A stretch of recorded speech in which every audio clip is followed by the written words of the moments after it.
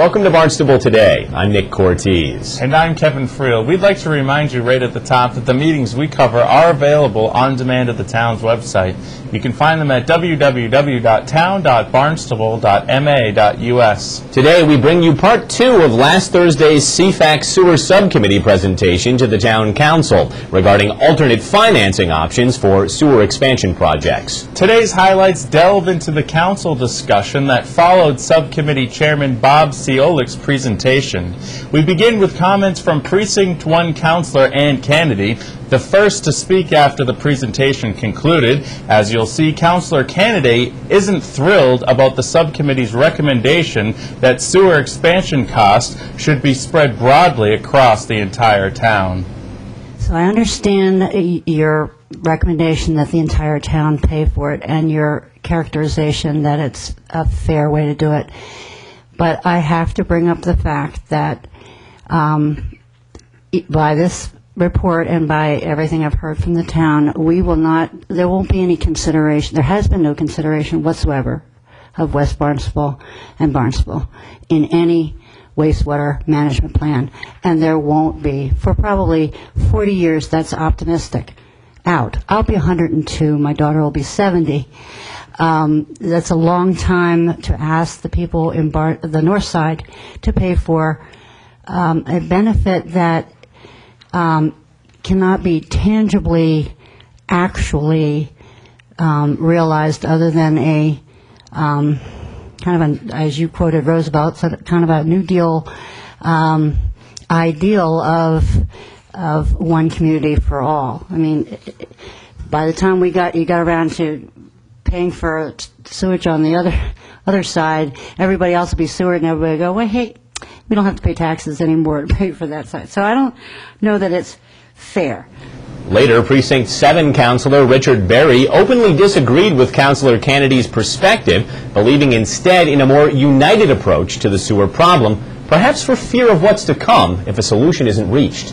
What you need to realize is we are the town of Barnstable. And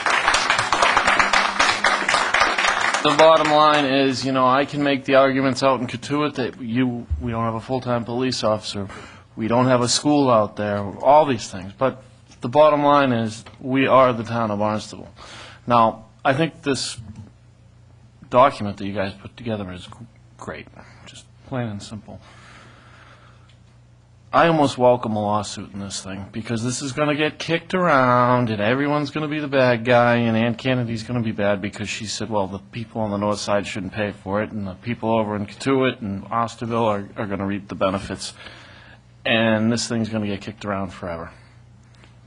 and the only way I think it's really, truly going to get resolved is a federal court judge saying, Town of Barnstable, not Village of Barnstable or Village of Cotuit or anyone else, Town of Barnstable. This is what you folks are going to do, and that's what's going to happen.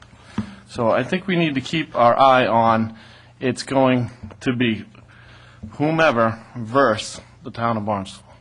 And we have to think that way to come up with a comprehensive solution to this problem. While Councilor Barry acknowledged the likelihood of a lawsuit, Precinct 3 Councilor James Munafo took it one step further and queried Subcommittee Chairman Seolik as to the wisdom of accepting that inevitability to see how it would play out. And I think ultimately, um, I have to agree with the uh, councilor from Precinct 7 who suggested that um, we might just be better off if we end up getting sued, because um, it just seems that if this is something we have to do, and this is another federal and state unfunded mandate, and now they're looking at us to come up with the answers and the solutions and the ways to do this and to voluntarily move in um, to this kind of program so that we uh, re- remain autonomous. I don't know if that financial benefit actually weighs in there and how much more it'll actually end up costing in the end, because the numbers now are, you know, are insurmountable in these difficult economic times. So uh, finding out the balances and understanding the differences um, after fighting a protracted case uh, in the courts, then, um, which, you know, everybody believes will happen. The question is, is whether you have the ability to be able to win a case like that. And if we were able to win the case, and even though it would be, uh, you know, a small chance for that to happen, it'd be a significant uh, reduction in costs, of course, to the community overall. And would that be something that's worth taking the risk? having been uh, sued uh, by the federal government and the Conservation Law Foundation, I think I speak with some basis in fact. Um, I'm under no illusion at all in terms of how difficult this decision is going to be for the town and the town administration. Um, In a lot of ways, this is a, this is a lose-lose proposition. And I'm not here to tell you whether or not you're going to get sued. I don't know. I only know what I read in the paper. I cannot tell you whether or not you're in violation of the Clean Water Act, either the federal act or the state act. I'm not sure. Um, But the people that I was involved with uh, 15, 20 years ago were a good group of people who, who cared about doing the right thing, not to mention the fact that one of them is going to be running for president of the United States. And at the end of the day, as much as we wanted to do the right thing, we ended up doing nothing, and we ended up being sued. The end result of being sued was that we lost. We were fined $3 million that were paid for by the ratepayers. There was a moratorium on sewer hookups, which brought economic development to a screeching halt in the, in the Boston metropolitan area. And most important and most problematic and the issue that the town council and the town administration need to think about is the fact that if you're sued and found to be in violation of the law, you will lose control over the strategic decisions associated with the program.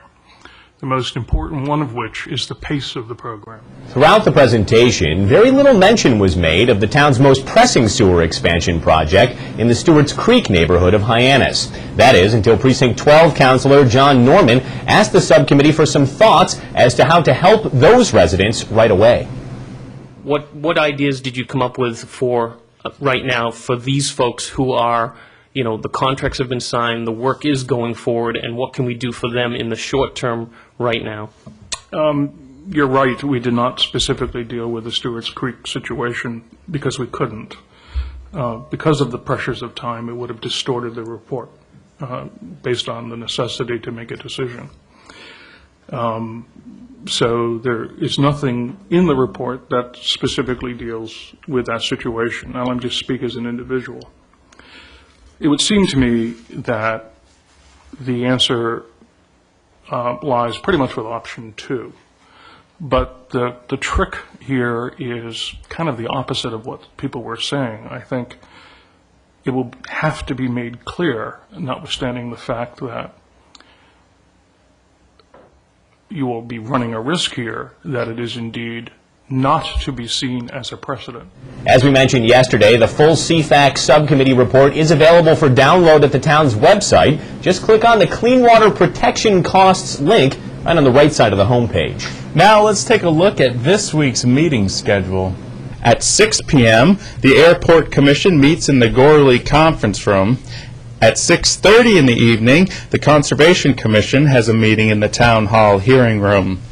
Wednesday, March 17th at 7 o'clock, the Hyannis Main Street Waterfront Historic District Committee meets in the Selectmen's Conference Room. On Thursday, March 18th, the Town Council meets at 7 o'clock in the Town Hall Hearing Room. Well, that's all the time we have for now. For Kevin Friel, I'm Nick Cortez. We'll see you next time on Barnstable Today.